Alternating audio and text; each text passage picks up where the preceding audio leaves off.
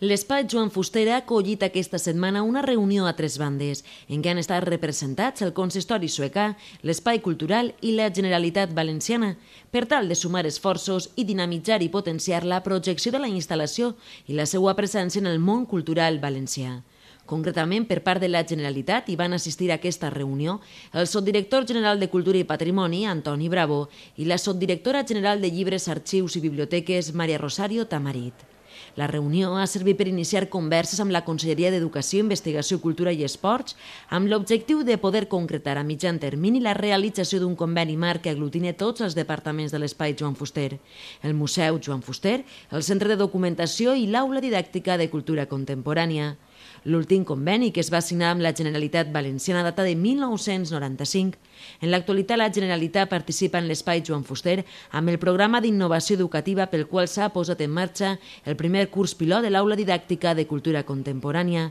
i al qual s'ha destinat, en conseqüència, un funcionari de la Conselleria d'Educació, Investigació, Cultura i Esport en comissió de serveis per a gestionar aquest nou organisme.